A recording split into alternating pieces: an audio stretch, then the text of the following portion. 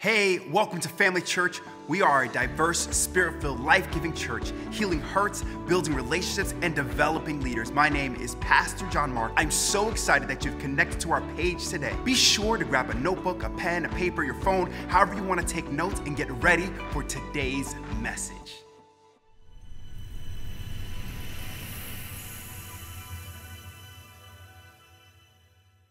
We are starting a brand new series today called Ghosted. Ghosted.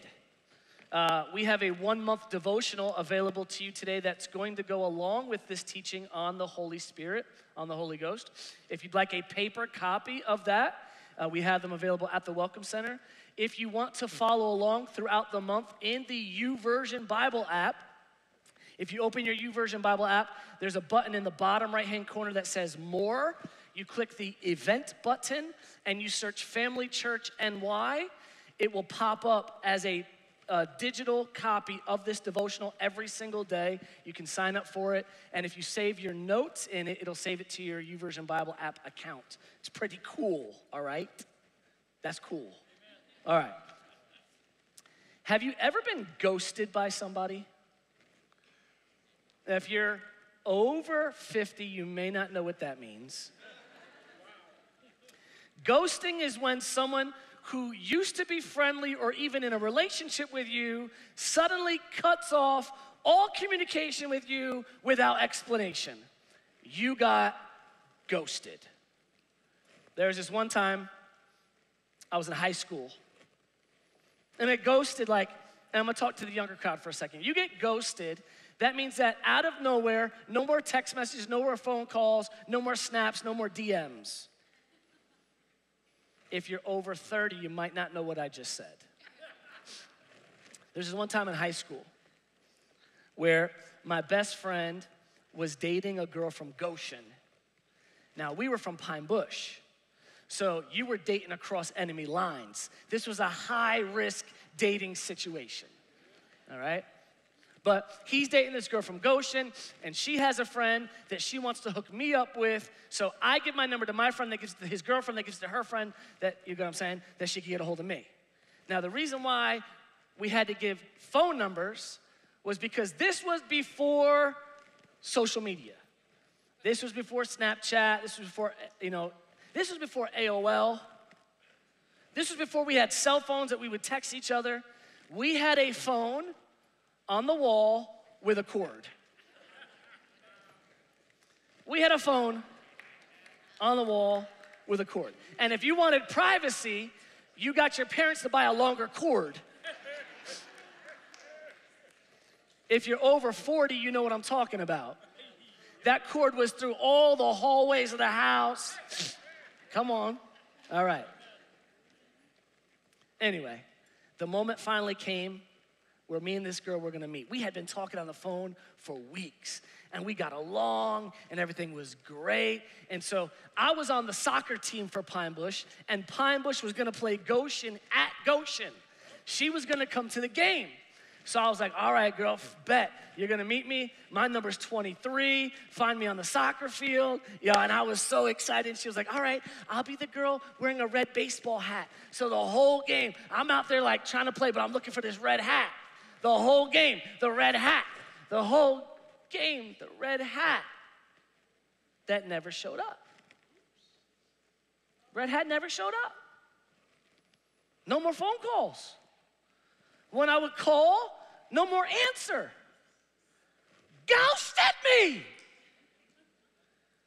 Come to find out, little Miss Pretty was at the game. But when she saw me, and my number 23, she thought I was ugly. And so, because she thought I was ugly, she never put her red hat on to identify, oh, I didn't realize I got set up. I didn't realize this was a whole conspiracy setup that she was gonna like not have the red hat until she saw me. Like it was all this whole plan thing I didn't know. But I got ghosted, and guess what? That hurt. That hurt, man because I was looking for that hat. I was sitting in anticipation, waiting. Ghosted. No explanation, no more communication. And you know, I I can almost relate I, I think that the disciples in the Bible, I think they somewhat felt ghosted by Jesus. He tried to explain, he tried to inform them, he tried to get them ready that I'm gonna disappear, I'm gonna go away, so just be ready for it. Let's take a look. In, in John 14, Jesus speaking says, All this I have spoken while still with you. But the advocate, the Holy Spirit, whom the Father will send in my name, will teach you all things and will remind you everything I have said to you. Peace I leave with you, my peace I give you. Jesus is pretty much saying, I'm about to peace out. Get it? Yes, I'm about to peace out. Do not, I do not give to you as the world gives. Do not let your hearts be troubled and do not be afraid. And here's the truth when you feel like you're ghosted, it's very easy to feel troubled. I felt troubled that I never saw that red hat at my soccer game. I felt troubled, like, you know, at first it's like, oh my gosh, maybe something happened to her. And come to find out, had nothing to do with her. It was me. I was ugly. you know what I'm saying? It troubled me, it hurt. And Jesus saying, listen, I don't give to you like the world gives you. See, the world we all give, and I know I know you don't want to hear this, but it's true. We all give conditionally. We all give conditionally, okay? Just facts. Buy somebody a Christmas gift, and then they not give you one back. And at first you're like, oh no, no, it's no, it's cool. Like I, I didn't I didn't buy it to get anything back. I just bought because, you know, we're friends and I love you. And then the second year, you buy them a gift and they don't get, give one back. And now it's like, oh, you know, I, maybe there's a misunderstanding. I didn't realize we weren't exchanging gifts anymore. Are we not exchanging gifts anymore? Third year, you ain't buying a gift for this person. Come on, man. Can we be for real? Like we do this. I love you. I'm so in love with you until you hurt me do we need to reconsider this relationship? No, I thought you loved me. Well, I do love you as long as you're reciprocating the same amount and value of love back to me. But when that's not happening, when my love tank's not being filled, I don't love you anymore. So Jesus is saying, I don't give to you the way the world does. I don't give to you based upon conditions. I give in a different way. He says, Yes, I'm ghosting you, but I'm not ghosting you the way the world ghosts you. I'm holy ghosting you. I'm holy ghosting you. I'm gonna leave, but I'm gonna send another. I'm gonna send one who's gonna operate differently than I ever could, and he will never leave you. He will never forsake you. You heard me say, I'm going away and I'll be coming back to you. If you love me, you would be glad that I'm going to the Father, for the Father is greater than I. Watch, he says, I have told you now before it happens, so that when it does happen, you will believe. He said, Listen, I'm preparing you so you don't feel ghosted. But I understand right now that you don't believe. And that's kind of like the issue of the world today. Like, we, we have a form of godless and believe in a level of God, but we don't really believe that there's gonna be an end of the world soon. Because if we really believe that, we'd live in a sense of urgency that heaven is a real place that I need to prepare for. I'm just saying. I'm throwing these things out. Jesus says, You know it, you've heard it, but do we really believe? He says, But you will. You'll believe. You'll see it. Here's why I'm ghosting you John 14, verse 16.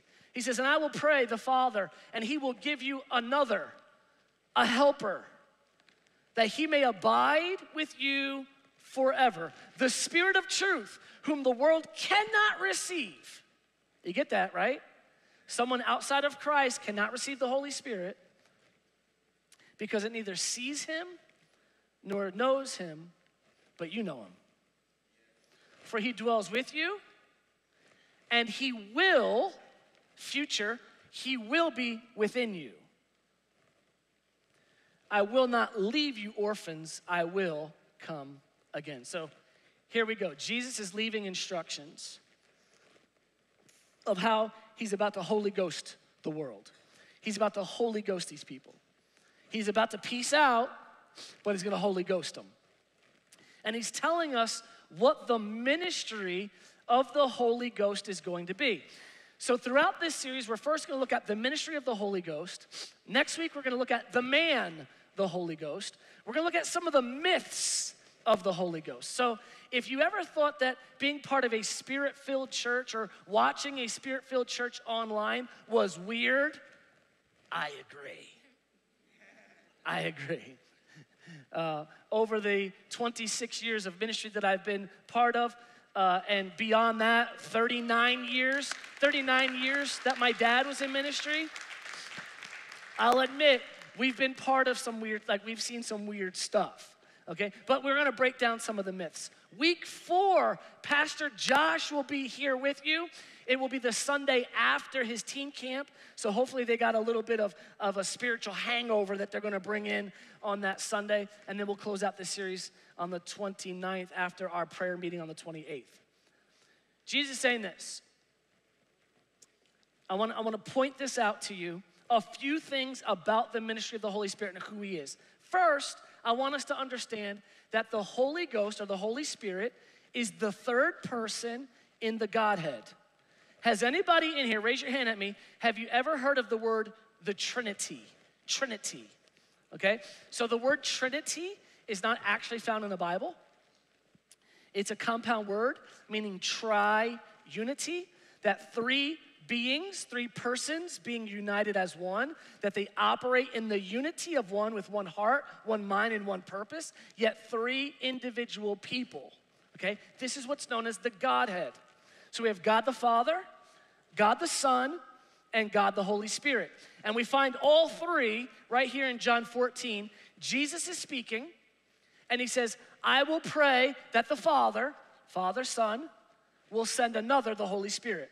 So we have the Godhead listed right here in this passage, the Trinity. And what's he gonna come do? What's this third person of the Godhead coming to do?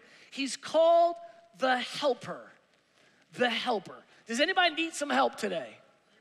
Uh, I think we all need help in something. If we need a helper, then we need the Holy Ghost. We could all use, a, not, not that we could get any more of the Holy Ghost, but we could use a little bit more Holy Ghost in our lives. A little bit more freedom of the Holy Ghost in our lives. Now, watch this. In John 14 26, it says this Jesus told his disciples, but the Helper, the Holy Spirit, whom the Father will send in my name, will teach you all things. Teach. So, what's he gonna help us with? He's gonna teach and bring to your remembrance all that I have said. So, he's gonna teach us and he's gonna bring to our remembrance the things that we've learned. Now, here's the funny thing about the Holy Ghost, and here's a misconception, and I don't wanna jump into the myth yet, but I'll throw one out. Listen, if you don't ever read your Bible, if you don't ever hear Bible verses, the Holy Spirit is not gonna magically download the entire Bible into your brain. Oh, John 3:16. And you've never heard it before. Come on, somebody. It says, He'll bring to your remembrance what you've learned. So listen, you don't have to be a Bible scholar, but crack the book once in a while. Crack the book for three minutes a day. Get a YouVersion Bible app. Do a Devo. Get something in. Get, yo, give the Holy Spirit something to work with. that's like that's like you wanting to buy a house, but you never save any money. You spend it all at Chick Fil A. You can't spend all your money at Chick Fil A and think you're going to buy a house. You can't go to the bank and withdraw money that you never put in. But go put your money in something, go find a financial advisor, invest in some mutual funds or some stocks, invest, and let that person do something with what you gave them. Just like the Holy Ghost, man. Get some scripture in you and let the Holy Ghost do some stuff with it. and he'll bring to your remembrance in situations what you have been taught. Here's the word helper. The word helper is the Greek word parakletos. Am I saying that right? Parakletos. Yes, it's up on the screen. Parakletos. Huh? Parakletos. I can't say it. You don't have to come on the mic and say it. Parakletos. In this passage, it's the word helper. In, in the uh, ESV or in the NIV, it's the word advocate. In the King James Version, it's the word counselor. All of these words, the literal meaning of it is legal counsel. He's our legal counsel. The Holy Spirit's our legal counsel, which means He stands at our defense. He stands at our defense to remind us, to help us, to advocate for us. He's a wise counselor. And Jesus knew that He'd be going away, that we needed a helper, we needed an advocate to teach and remind us of His teachings. So, who is the Holy Spirit? He's the third person in the Godhead. He's the helper. He's the counselor. He's our legal counsel. But what else is part of the Holy Ghost's ministry in the earth today? Let's talk about this. This is where we're going to get a little dicey, okay? This is going to be the part of the sermon that people are going to send me bad Facebook comments. And I'm just putting that out there right now, okay? Because maybe you haven't been taught this way before, or you have been taught this way before, and now I'm gonna ruffle your feathers. Don't believe anything I'm about to say. If you believe anything I'm about to say, you're just blindly following somebody. Go look this up. And do not argue with me based upon something that you heard when you were five years old. If you don't bring research, don't talk to me. Know what I'm saying? There's no argument based upon something you were taught by somebody else. This has to be your own personal divine revelation. Okay, we ready to get into this? Okay, John 16, 5. But now I go to him who sent me. So Jesus speaking, I'm going to the Father who sent me. And none of you asks me, Where are you going? But because I have said these things to you, sorrow has already filled your heart. So he's like, I already see you guys are sad because you know I'm about to leave. Nevertheless, I tell you the truth. It is to your advantage that I go away. For if I do not go away, the Helper will not come to you. But if I depart, I will send him to you. Now, ready? Watch this. And when he comes, his first job, he's going to convict the world of sin and of righteousness and of judgment of sin because they do not believe in me, of righteousness because I go to my Father and you will see me no more, and of judgment because the ruler of this world is judged. I still have many things to say to you, but you cannot bear it now. Are you ready for this? This is one of the jobs of the Holy Spirit. This is an ongoing ministry of the Holy Spirit comforter, counselor, helper, and yes, the Holy Spirit convicts. But did you read the passage clearly with me? Because I don't think that we need a whole lot of articulation in this, because the Bible's very clear. Let's look at it once again. The Holy Spirit, when He comes, He will convict the world of sin. Do you know what that does not say? It does not say when He, the Holy Spirit, comes, is going to convict the believers in the upper room of sin. What it does not say is the person who's committed their life to Christ and are washed in the blood of Jesus, the Holy Spirit's going to convict them every time they sin. I'll, I'll straight fight someone I think I could take. But I think you're going to whoop my tail. I'm going to try to like snuff and run. Yo, I ain't no punk. I'm telling you straight out. That's the real deal. And when you think God is gonna snuff your tail every time you mess up, you're not gonna go to Him and say, In your presence. Because you're gonna be like,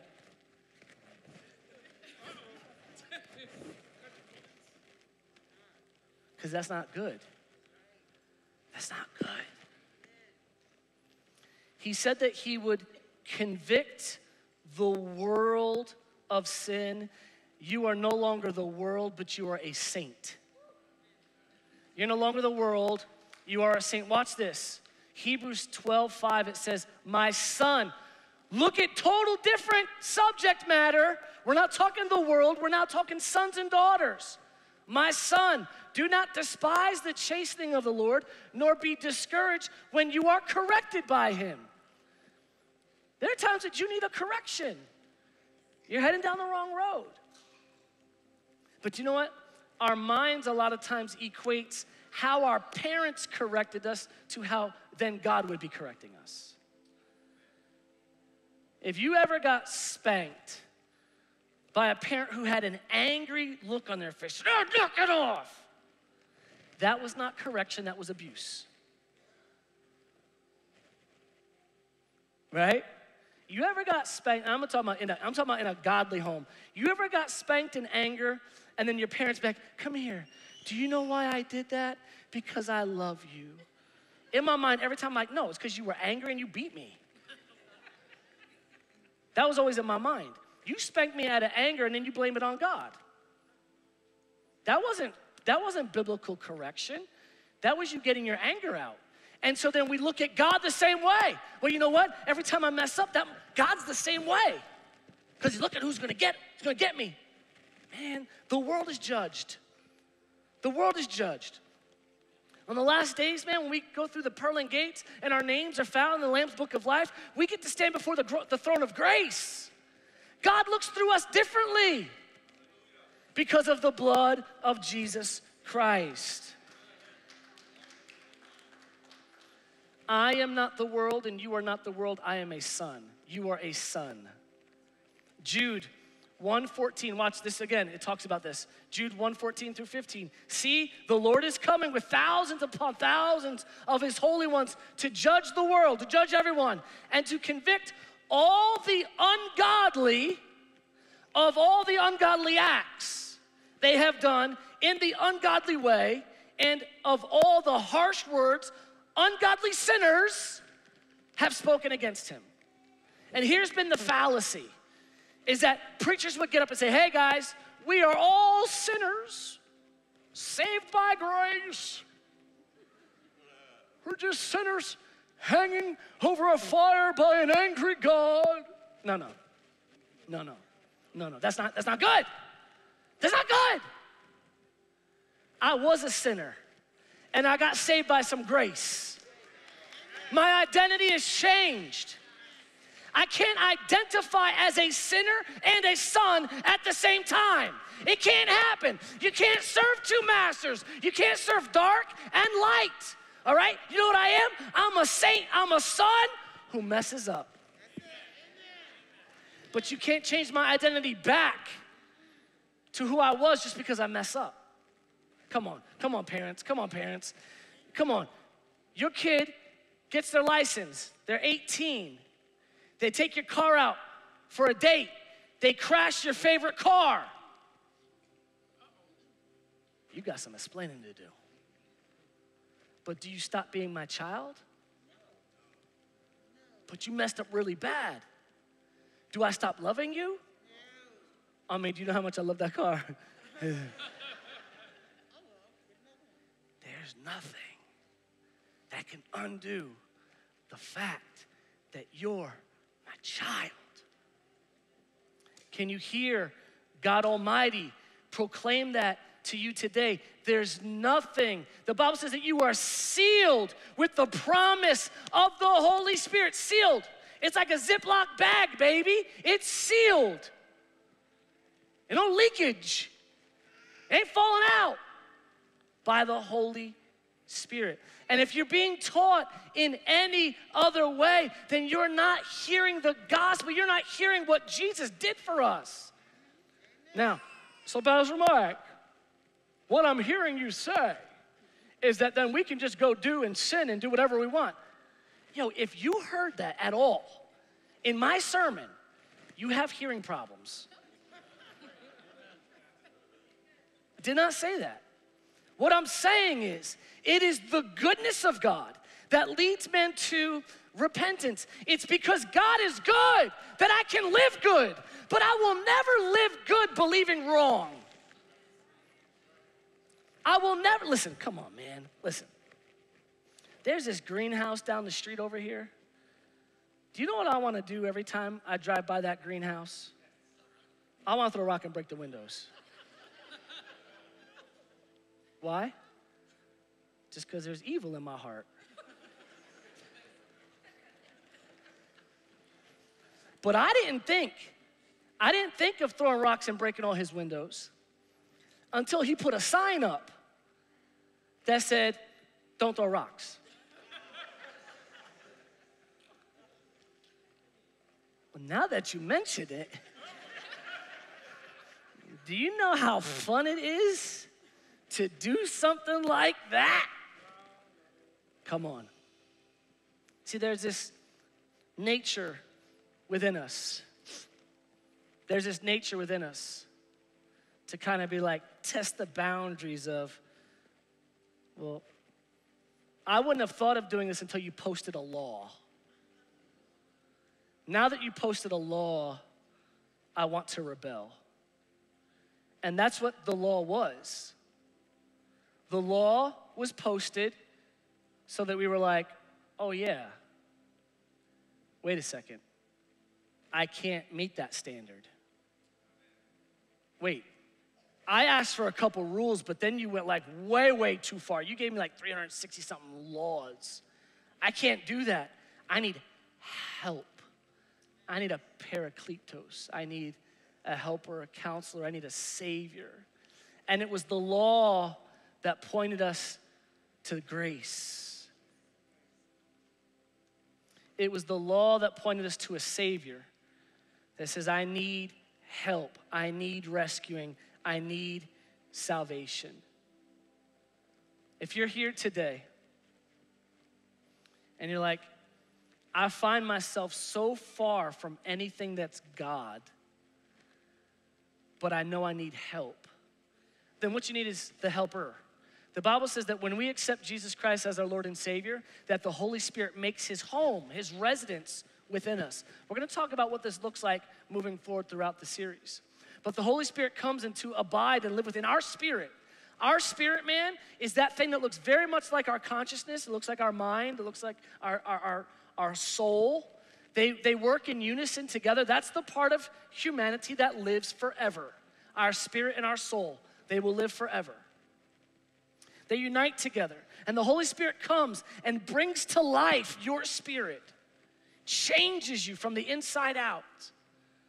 And He helps you every single day in your walk. He reminds you of these teachings. He can bring peace that surpasses all understanding. That's why we were very intentional about our worship service today. We wanted you to experience some peace today in our worship service, in a spirit filled church, in a spirit filled worship environment. Now, notice we didn't do any really weird things. We weren't rolling around on the floor. Right? We didn't. We didn't, yeah, we weren't kicking anything weird. We weren't throwing up. We didn't start a laughing movement. Now, these things have all happened in moments of spirit filled churches. What I'm saying is that the Holy Spirit can, is decent and He runs in order. And He can be part of your everyday life to bring power and boldness. Maybe today, even during worship, you wanted to sing along and maybe you wanted to raise your hand, but you kind of felt intimidated. You felt like uncomfortable, embarrassed, or shy. See, he'll bring that boldness to your life. He'll bring that boldness to your life. And all you have to do is receive him into your life. And we do that very simply here today. And again, I'm not saying that everything in your life is about to change just because you accept Jesus Christ, but it could. It could. Here at Family Church, we want to offer you salvation. It's believing that Jesus Christ is your Lord and accepting Him into your life. At that moment, the Holy Spirit comes to live and abide on the inside of you. And if you're here today or you're watching online, and today's your day, today's the day where you're ready to make that decision to make Jesus Christ your Lord, would you pray this prayer with me? And the whole room will repeat it with me as well to encourage you. It goes this Dear God, I come to you just like I am. I believe that Jesus Christ is my Lord and my Savior. Jesus, I invite you into my life to change me and to make me new. Thank you for accepting me. In Jesus' name, amen. Amen. If you're watching this online and you prayed that prayer for the very first time, would you type amen in one of the chat rooms? One of our online hosts would love to follow up with you and send you our six day devotional called Starting Point. If you're in the room and you prayed that prayer for the very first time today, would you give me the honor to celebrate you for two seconds and just wave at me real quick and say, hey, that was me? Yeah, I see you in the back. Anybody else, real quick? Across the room? Awesome, awesome. Welcome home. We have that same devotional available right at our Welcome Center. Maybe you're here today and you say, I don't know about this whole church thing and a guy wearing a peach shirt on a Sunday morning, but I'm interested to find out more. We have a booklet at the Welcome Center called uh, Welcome Home, uh, and it just talks about what we believe here, and it has that same prayer at the end. Also, if you want the Acts, the book of Acts study guide, so today we're gonna start all, the whole church, we're gonna start by reading Acts chapter 1. Um, that booklet is available at the Welcome Center. And if you want to follow along in the YouVersion Bible app, hit more events and search family space church space NY. And six days will pop up immediately of our devotional ready to go for you. Now, you won't be able to store your notes in it until the day the devotional is live. All right, so today's devotional is already live in the app and it's ready to go for you. Amen. Father, we thank you today that your word never returns to you void, but it accomplishes exactly what you set it forth to do. We thank you, Holy Spirit, for being our helper, our counselor, our advocate, our guide. We thank you for being here with us and rising on the inside of us and bringing to our remembrance all the things that we need to know according to your word. Fathers, leave here today, I bless everyone the sound of my voice. They're the head and not the tail above and never beneath. Everything they set their hands to will prosper and be successful. In Jesus' name, amen. Love you. Thank you for watching today's message. My name is Ashley, and if this message has made an impact in your life in any way, I'd like to ask you to do a couple of things. First, we want you to like and subscribe to our channel and join us right here every Sunday at 9:30 a.m. or 11:30 a.m. The next thing I'm gonna ask you to do is take a next step on your journey, and we would love to help you do that. You can head on over to familychurchny.com or email us at team at familychurchny.com to get started today.